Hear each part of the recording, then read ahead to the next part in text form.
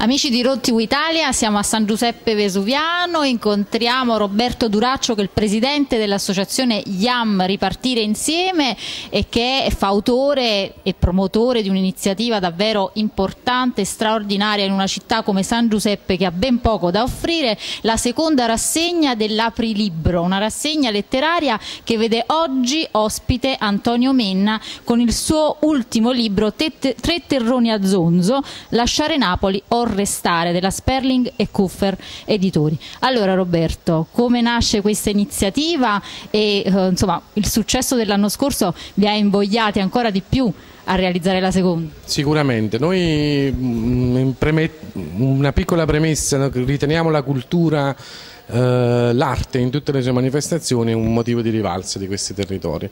L'anno scorso abbiamo anche abbinato eh, la presentazione di libri a una mostra con una, un autore locale, un artista locale, perché crediamo che partendo dall'arte sotto tutte le sue manifestazioni, in questo caso l'espressione letteraria, eh, questi territori possono avere un riscatto in, uh, rispetto a quello che hanno subito in questi anni. Certamente. Noi vogliamo ricordare anche i prossimi appuntamenti perché anche sabato prossimo e sabato 27 aprile ci saranno altri due grandi scrittori Uh, questa edizione di Aprilibro vede, uh, oltre ad Antonio Menna, la partecipazione anche di Pino Imperatore e uh, di Marotte, con due lavori che sono eccezionali. Il primo, quello là di Giuseppe Marotte, I bambini osservano muti, che il titolo insomma, già mette in evidenza quale sarà il contenuto di questo lavoro.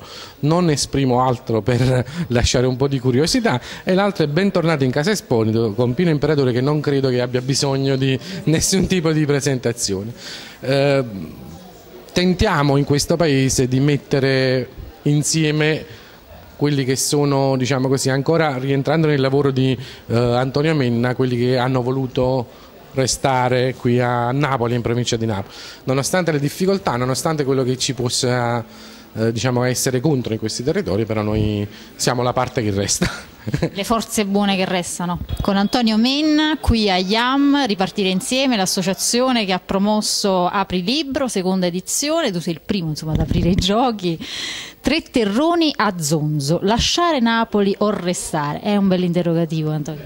Sì, è un interrogativo che io lascio tale in copertina e anche per tutta la narrazione, nel senso che no, non sono in grado di dare una risposta a questa domanda, né ritengo che ci sia una risposta giusta per tutti eh, però è una domanda che ci, che ci, accompagna per tutta la vita. Chi se ne va eh, si porta diciamo, un lutto permanente, questa, questa distanza che, che diventa un, un, pensiero irrisolto verso la propria città. Chi resta e anche lui viene accompagnato da una domanda, cioè che cosa sarebbe stato della mia vita se me ne fossi andato.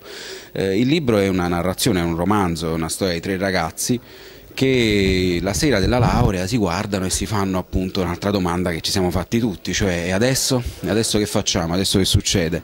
Due di loro non hanno dubbi, uno se ne va a Londra e un altro se ne va a Milano. Mm, fanno questa scelta perché secondo loro Napoli non ha alcuna possibilità di dargli un futuro, una possibilità.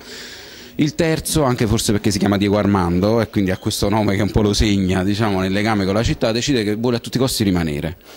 Il libro racconta la storia dei primi due anni di questi tre ragazzi nei loro percorsi molto diversi dopo la laurea.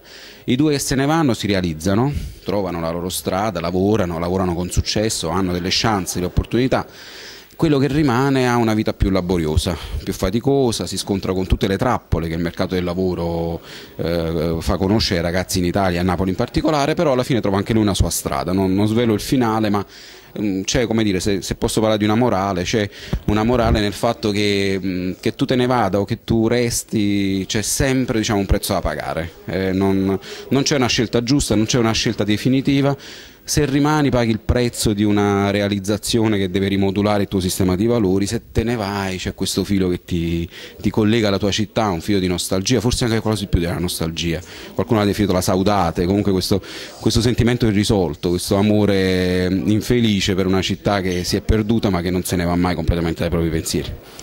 Il titolo di una raccolta di Cesare Pavese era Lavorare stanca, ma lavorare gratis è uno sputo in faccia. Hai scritto tu nel tuo editoriale su fanpage che ho avuto modo di leggere.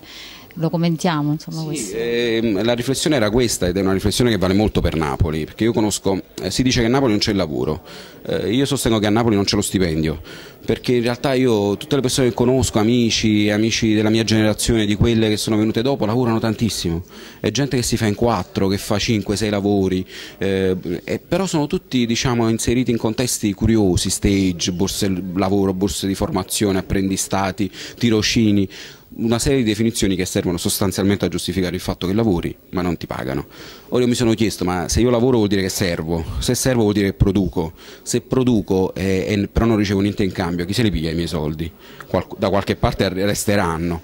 Eh, questo è un nodo su cui bisognerà prima o poi fare una, una riflessione perché se c'è una persona che lavora e non guadagna vuol dire che c'è qualcuno che guadagna e non lavora, quindi c'è un'ingiustizia ed è un'ingiustizia che va affrontata e risolta perché un, è un furto ai danni di intere generazioni. Allora, tre terroni a Zonzo, lasciare Napoli o restare di Sperling e Kuffer, il secondo lavoro di Antonio Menna, corriamo tutti in libreria a acquistarlo, adesso ci godiamo questa presentazione, un saluto ad Antonio. Grazie, grazie, grazie a tutti, ci vediamo al prossimo libro a questo punto. spettatori di Rotti Italia. Assolutamente, io conosco, già mi sopporto, è la seconda volta che mi sopportano, speriamo ci sia una terza. Saluti a tutti.